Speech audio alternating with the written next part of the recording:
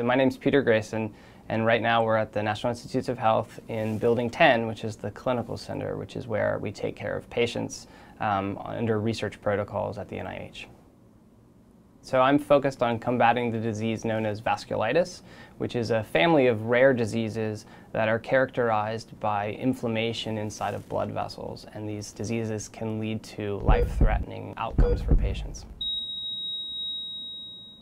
So I grew up in Charleston, South Carolina. It wasn't something that I, I thought I was going to be a scientist from the get-go, from birth. I wanted to be a musician and spent some time playing in rock and roll bands around the country and then kind of meandered my way into medicine and came at it much later in life. So vasculitis is, among doctors, it's a scary disease. It's one that many doctors don't know anything about because it's quite mysterious. Wherever you have blood vessels, you can have a problem, and you have blood vessels throughout your entire body. So you can get a lot of bizarre symptoms. And typically what happens to a patient is they get something where they get a painful red eye and then they lose sensation in their foot and then they start coughing up blood and all these crazy bizarre things happen in sequential order. They go see millions of different specialists. There's a long delay and finally somebody will put the pieces together and realize that this is a vasculitis. And we have made a lot of progress in the last 20 years. It used to be that these diseases would kill you within a few months of contracting them. And now patients do not die from the diseases anymore. And we're faced with a whole new challenges of managing these diseases as they turn into long-term illnesses. So this is the heart, and your aorta is this big tube that comes off the heart and comes down here and splits into the blood vessels of your legs. These are the blood vessels of your arms, and these are neck blood vessels going up to your brain. For patients that have a type of vasculitis called large vessel vasculitis, they can have problems and disease in the big blood vessels of their body.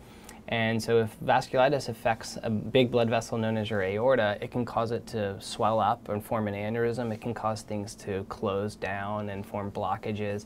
And so a patient will come in and they'll have no blood pressure in their right arm or no pulse in their left leg we can comprehensively image all of the blood vessels in their body. And we do these kinds of imaging studies and figure out where in their uh, vasculature there's, there's disease. Where we are with these diseases is that um, people survive them, but they relapse, and they relapse unpredictably. And so we're trying to figure out things that allow us to predict what happens over time. So you're trying to actually figure out something within an individual patient that you can target treatments to. And I think in that setting, this is kind of a new age of discovery in medicine. Before, we used to be limited with what we could see or a couple of simple blood tests we can do, but now we're not, we're not constrained by hypotheses and by what people have done before us. You can actually really, uh, you know, in an agnostic fashion, um, categorize what's happening at cellular level. Wait a little bit longer, the IV contrast gets excreted by the kidneys the way things are right now, there's there's so many different aspects of research that are going on that you can't know everything. But it's great if you're sitting at a table where you have representations from all the different kinds. When you're in medical school, uh, they tell you that 50% of what you learn um, in five years is wrong. And that's kind of daunting because you're sitting there trying to study and take all this in and, you realize, and you're trying to figure out which half you really need to know. Um, but what that means and why, why that's really cool is because we're rewriting medical history continuously.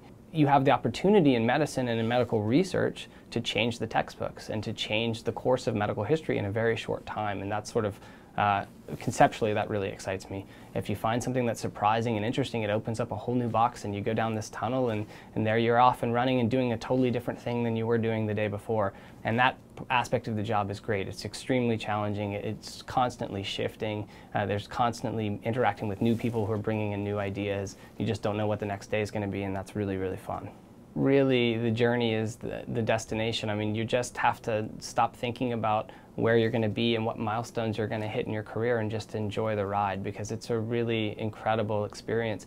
Once you relax and realize that you know you're in a, a very fluid field that sort of rewards um, creativity and rewards hard work, and it takes you into just unexpected places. I think if you know we're often trained to want to hit milestones in our lives and once you sort of let go of that a little bit um, i think you realize how exciting this career is